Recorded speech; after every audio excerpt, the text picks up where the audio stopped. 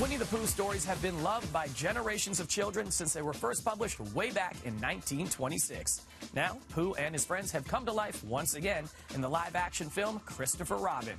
It's Devo Brown, and today in Entertainment City, the stars tell us about the laughs and lessons in store. Hello, Eeyore. Christopher Robin, it's you. Played again. You know, the, the journey of the film, I suppose, is Christopher Robin getting in touch with that young boy again inside mm-hmm. himself.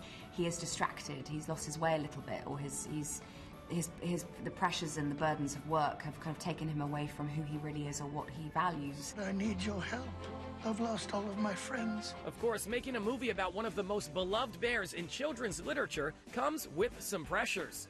I first wanted to go back, I saw it as an origin story, I wanted to go back to the early uh, Shepard's drawings to, to, to recreate him, ch choose fabrics and, and, and choose, uh, you know, we had Jenny Beavan, our costume designer, knit the little red sweater, make sure it's the right color. Hello, everyone.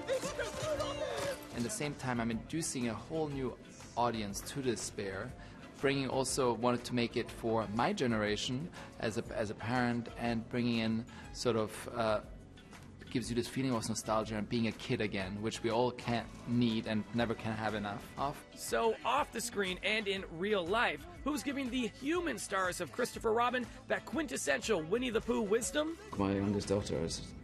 I don't know that she's very Pooh-like, but there's but there's something similar about knocking about with her and spending time with her, and the fact that children are very much in the moment and say what's on their mind without in, in an uninhibited way and um, yeah, so she can she can come up with her own little pooisms or yeah, yeah without knowing. Without at knowing they, it, yeah. children seem to come sometimes.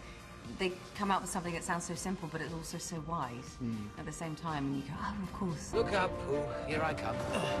It would appear that I am stuck. Have you just eaten honey? I have not just eaten honey.